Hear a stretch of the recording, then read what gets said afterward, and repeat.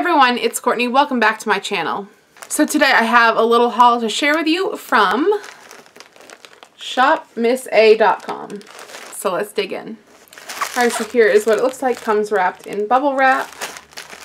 And then it comes wrapped like this. I'm not done yet. It's also wrapped in this. So it's very safe and very secure. Alright, so the first thing that I got is this little knockoff Beauty Blender sponge.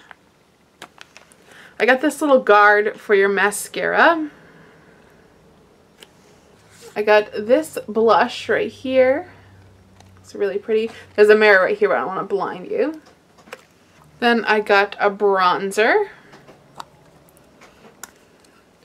And it looks like that. Uh, I got this lip color, just like a nice little purple color. I wanted to try this to kind of mix it with some other colors that I have, so or I might just try it by itself. We'll see. And last but not least, I picked up this liquid lipstick in this color. I'll have all the information down below in the bottom bar. Um, these just have like numbers and such. So I'll have all the information for this down below if it's still available. Some things with Shop Miss A go really fast and you can't find them again. So that's why you kind of have to get it if you want it. So that's just my little haul that I picked up. I just wanted to share it with you guys. I love Shop Miss A. They're really cheap, really affordable.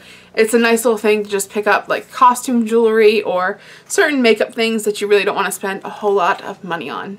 Alright guys, so that's it for this video. I hope you enjoyed it. If you did, please give it a thumbs up, subscribe if you haven't already, and until next time, I will see you later. Bye.